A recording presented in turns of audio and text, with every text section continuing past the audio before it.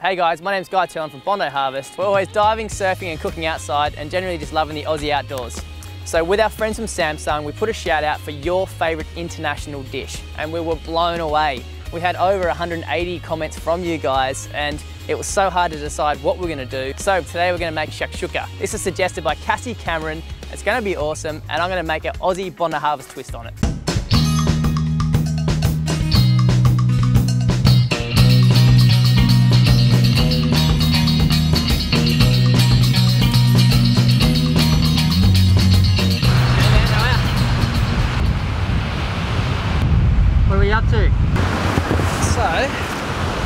Make ourselves an epic shakshuka.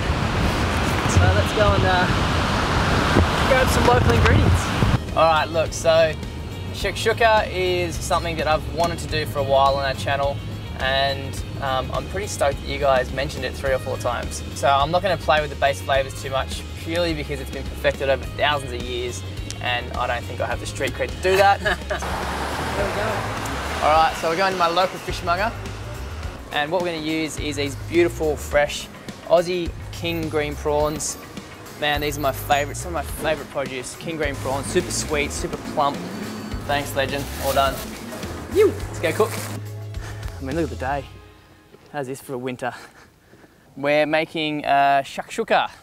That's the Bondi Harvest twist on it. And this is the Aussie twist on it. So we've got beautiful Queensland king prawns. They don't get any better than that. We've got some epic macadamia nuts, obviously local to Australia. Um, that's going to give it a really nice crunch, really nice sort of Aussie flavour as well. Um, so the first step is we're going to dice up some onions, some peppers, some chili garlic, and we're going to fry that down till it's soft, just in a little pan. So traditionally they use like a heavy cast iron pan. I actually don't own one of those, so I'm going to go this beautiful little non-stick. Um, it's all going to be cooked in one pan. It's going to be super tasty, and the idea is that you mop it up and you eat it with some really nice crusty bread. So we're just going to dice that onion nice and finely, straight down. I'm to use probably a quarter of this pepper as well. So I've got some garlic, some chili as well. So the idea is this is your base for your shakshuka. I'm going to cook all this off in some coconut oil. Um, one, coconut oil is a little bit healthier. Two, it's uh, super tasty as well. It's definitely not traditional, but I suppose that's another Bondi Harvest twist we're putting on this one.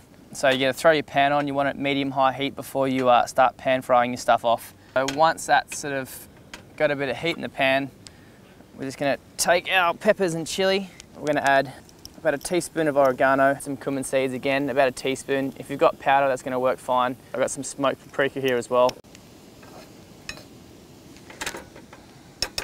All right, so while that's sort of frying off and softening down, smells so good. We're gonna peel our prawns. So you twist the head off. So the shell's coming off all the way around.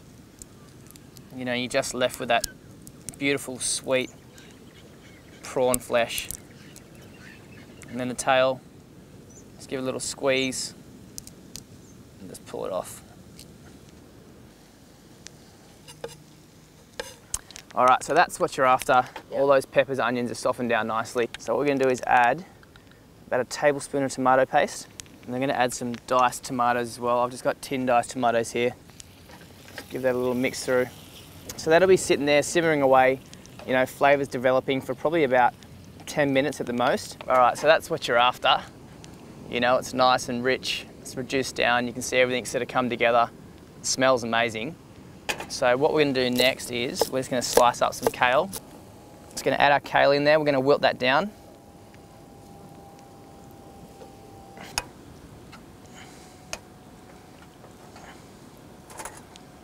All right, so I'm just going to crack one egg in there.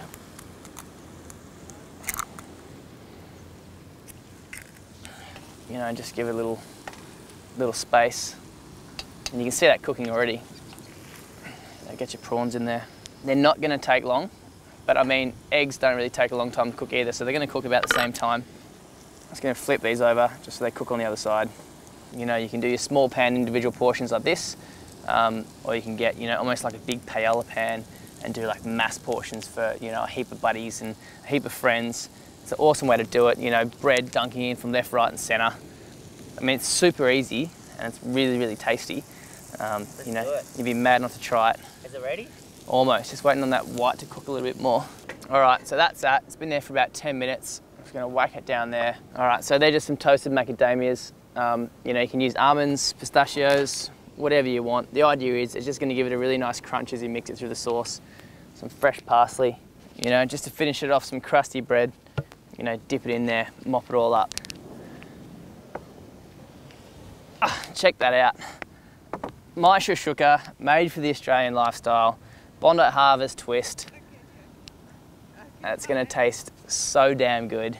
You got your macadamia nuts, you know, your beautiful Queensland prawns. You got that kale. Dunk it in there, dip it up, make a mess with your toasty bread.